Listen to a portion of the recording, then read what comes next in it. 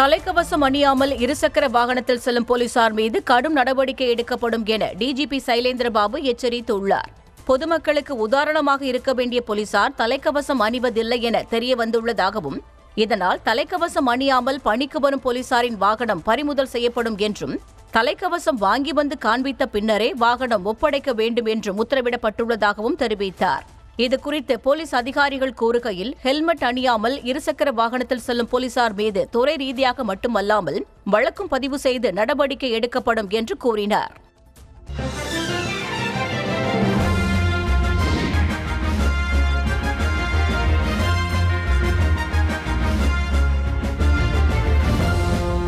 தமிழ் செய்திகளின் புதிய அடையாளமாக.